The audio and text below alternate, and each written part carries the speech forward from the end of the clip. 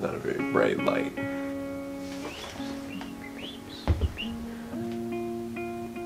Is he recording? Why leaning on me? Scoot up. Put your feet up. Hello.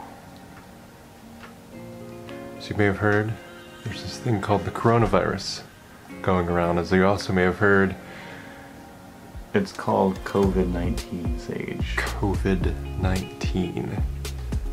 But the uh, the borders are shutting down on Tuesday.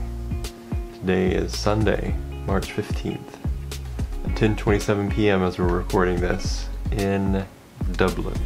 Our flight that we originally planned from London to Dublin or London to Denver got canceled. So we are we've bought flights from Dublin to New York, JFK, because they're one of the 13 airports to offer the screening. And you have to go through one of them. Yeah, the original plan was to. We were gonna wake up, was it like 4.30? Well, we still cab. are. Yeah, we are still doing that, and it's like almost 11 now, so we're not getting any sleep. We were gonna take a cab, get the normal flight. We're gonna go London Heathrow, and then we had it. We actually still do have an Airbnb booked, so we're gonna lose out on that. But hmm But hopefully we'll make it back home. We had a fun day today, which we will eventually upload later on, probably when we, hopefully when we get back. Hopefully we get back. Um, about going to the Cliffs of Moher. The Cliffs of Moher. It was really fun, slightly tainted by all of this news.